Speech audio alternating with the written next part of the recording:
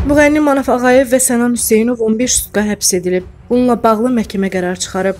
Qeyd edək ki, ötən gün sosial şəbəkələrdə müğənni Manaf Ağayevin işğaldan azad edilmiş ərazilərə səfər etməsini əks etdirən görüntülər yayılmışdı. Daha sonra Bakı şəhəri ərazisində Manaf Ağayev və onun yanındakı vətəndaş Sənan Hüseynov polis idarəsinə dəvət olunublar. Aparılan araşdırmalar nəticəsində məlum olub ki, onlar işğaldan azad olunmuş ərazilərə qanunsuz yolla daxil olublar. Bununla bağlı onların izahatları alınıb, həmin şəxslər saxlanılıb.